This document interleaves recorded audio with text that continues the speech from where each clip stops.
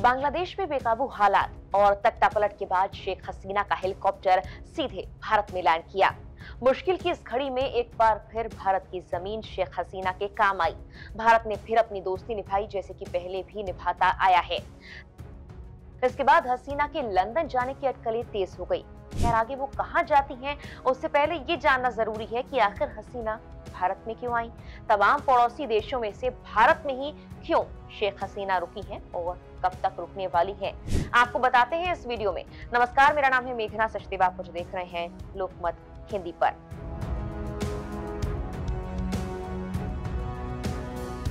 बांग्लादेश के प्रधानमंत्री शेख हसीना ने इस्तीफा दिया। इसके बाद सीधा भारत का रुख किया। उनका विमान सोमवार देर शाम को गाजियाबाद में हिंडन एयरबेस पर उतरा। रिपोर्ट्स के मुताबिक, शेख हसीना ने भारत से कोई राजनीतिक मदद नहीं मांगी। हालाँकि जब हसीना का विमान आया तो उसके बाद देश के राष्ट्रीय सुरक्षा सलाहकार, यानी एनएसए अजीत डोभाल, एयरबेस पहुंचकर उनसे मुलाकात करने पहुँचे। एक घंटे से ज़्यादा वक्त तक बांग्लादेश के हालात पर चर्चा की।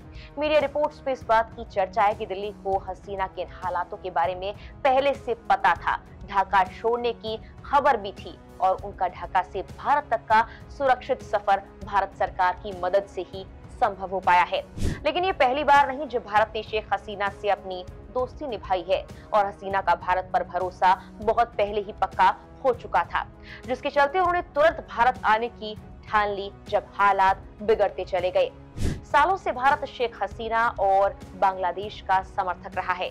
दोनों देशों के बीच के रिश्ते बेहतर ही हुए हैं।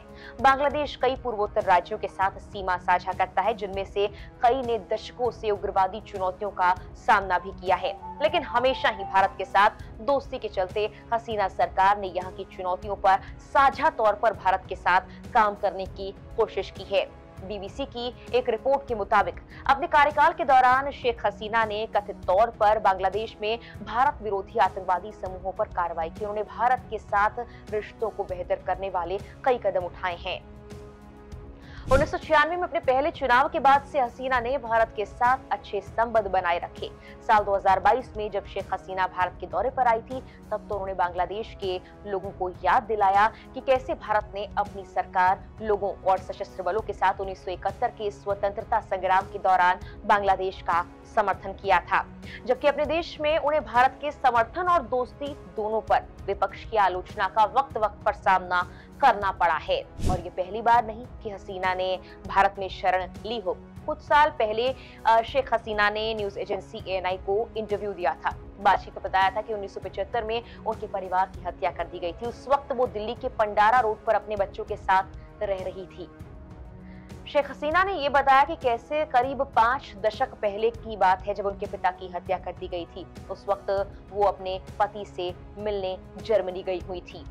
शेख हसीना ने बताया था कि फिर तत्कालीन भारतीय प्रधानमंत्री इंदिरा गांधी ने उन्हें जानकारी दी कि वो उन्हें सुरक्षा और शरण देना चाहती हैं। उस वक्त शेख हसीना और उनके परिवार को पंडारा रोड पर टॉप लेवल सिक्योरिटी के साथ एक सीक्रेट घर में रखा गया था। इसके अलावा उनके पति को एक नौकरी भी दी गई थी। हालाँकि इस बार माना ये जा रहा है कि हसीना भारत में रुकी ज़रूर हैं, लेकिन भारत में इस बार वो शरण नहीं लेंगी।